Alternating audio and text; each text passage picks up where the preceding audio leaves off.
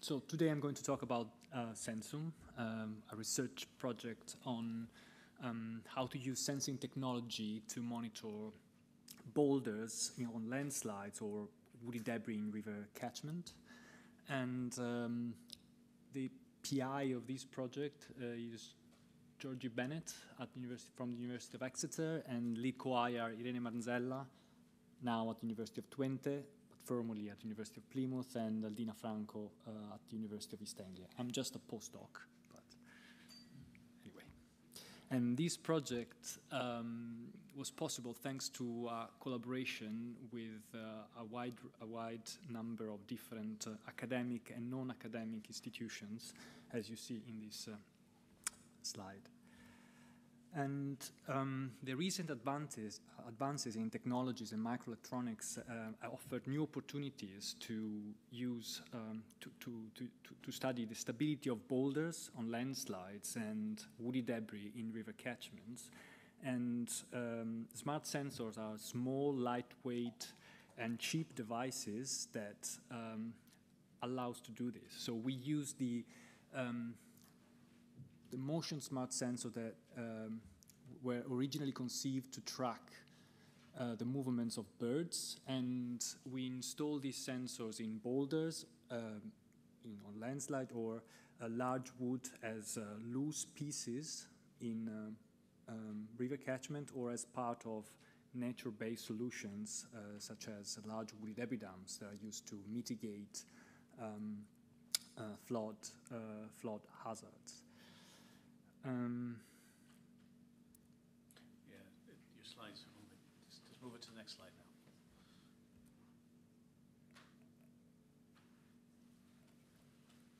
I have no control. There we go. Next one. Okay. Good. So uh, Sensum has uh, organized in different uh, parts. So we have field experiments. We install these sensors in different uh, landslide sites in the UK, in in the south of France and in Nepal.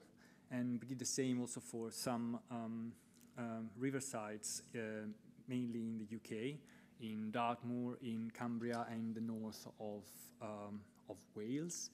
And then we tested this technology also in uh, laboratory experiments. We wanted to understand uh, how reliable were these sensors and how to use these sensors to study the movements. And the data collected from the lab, for laboratory experiments, from the field experiments, were used to create a larger data set that um, was investigated using the machine learning algorithms. And then the last part of Sensum was to design was to design visualizations, physically based visualization and game design visualizations to improve our communications on landslides and flood hazards.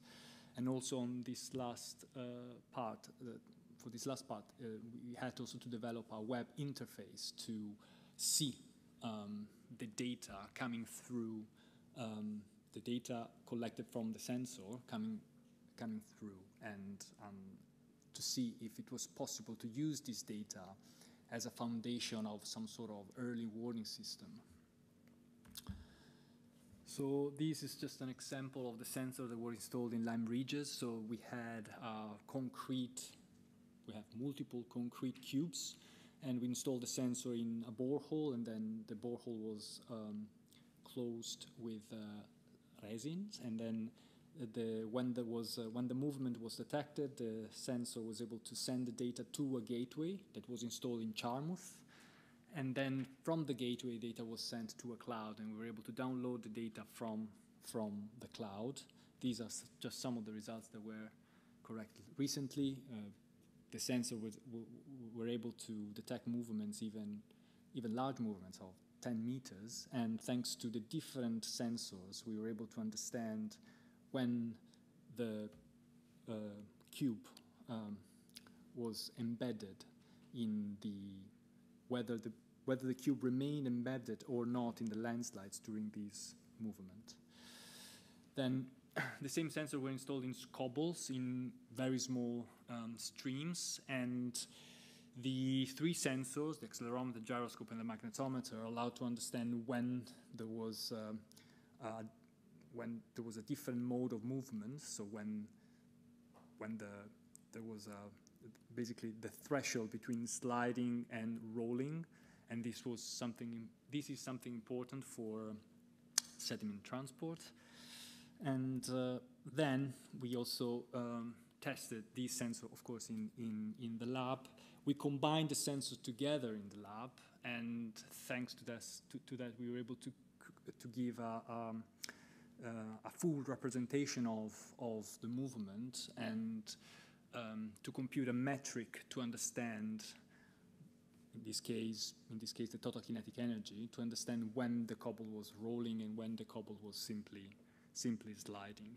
In another set of experiments, we uh, design a, design a, a large um, laboratory analog of a, a large woody debris dams, and we use the sensor to study the vibration of the dam, and we try to um, characterize this vibration to see if there was any connection with the constraints, with the lateral constraints of, of, of the dam. And then um, by combining the sensors, the output from the sensor, we're able to give also a full uh, motion representation of um, um, a woody dowel traveling along the flume. And this was important to, to, to understand the transport of woody debris in, in, uh, in streams. Um, thanks to, to, the collaboration with uh, the University of Manchester, specifically with Eda Maitan, Ben Rogers, and Georges Fourtakas, we were able to use um, uh, a numerical model, an SPH model, DualSPHysics, uh, to validate the experimental, the experimental results, especially those um, we got from, from the lab. So um, we compare the experimental results and the numerical results and the um, the behavior, the average behavior, the average experimental behavior behavior was matched by the, the numerical by numerical simulations. On the other hand, we use the numerical simulation also to create nice visualizations, as here you see the collapse of a large woody debris dam. And that woody debris dam was uh, generated uh, using uh, a, 3D photogra photogrammetric rendering, and the pictures are taken from uh, um, a site in Cumbria, from Tebay catchment. The um, physical-based visualizations were also combined to other visualizations developed using uh, game design software. This was possible thanks to a collaboration with the College of Art at the University of, of Plymouth. And um, the idea is to try to combine these two visualiza visualization together, physical-based ones and the fictitious ones, uh, for a final event, um, a workshop that is going to be at the beginning of December. And we are going to use the immersion vision theater, so the dome, to, to uh, to use these 3D visualizations and to make the content of, of, the, um, of the project more accessible to the audience. And this is all the people involved in the project. This is it. Thank you, Alessandro.